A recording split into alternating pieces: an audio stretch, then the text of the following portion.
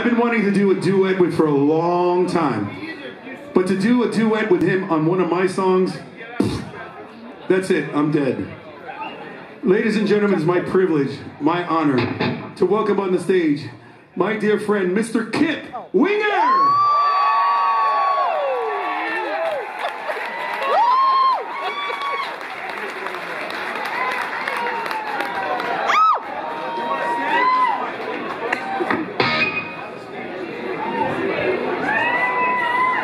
So we're gonna do a song we did the other day. Song that Howie and I wrote. Very it's been a song. staple in every set, every tour that I do because I love the song so much. It seems you guys really love it. So I think you're gonna love it even more with me and Mr. Winger. And later on, you're gonna give me a Kip Winger, aren't you? Wow. I remember. You guys know what that is? You guys missed the comedy thing. I have a sneaking suspicion. Let your imaginations run wild. By the way, I was at the gym earlier. I'm just looking at my phone, minding my own business. I feel somebody rubbing my ass. I didn't even flinch. I just thought it was one of my guys. And then Kip comes up and goes, You didn't even move. Now you said it's pretty nice ass, isn't Yeah. it? Not bad for a 56 year old ass. this is a song for you right now called Soul Divine.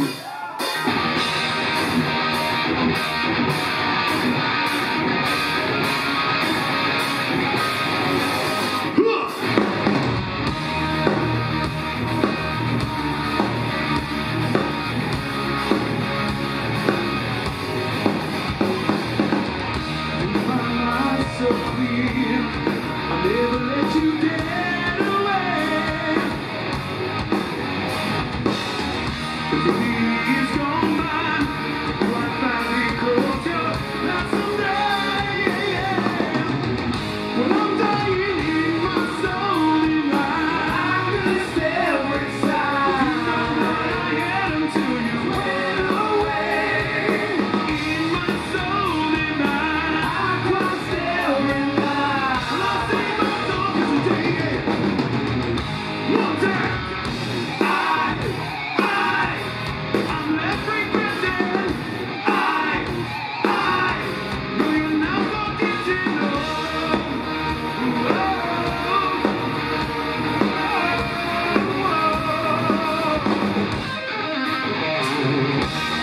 brought me alive, even on the days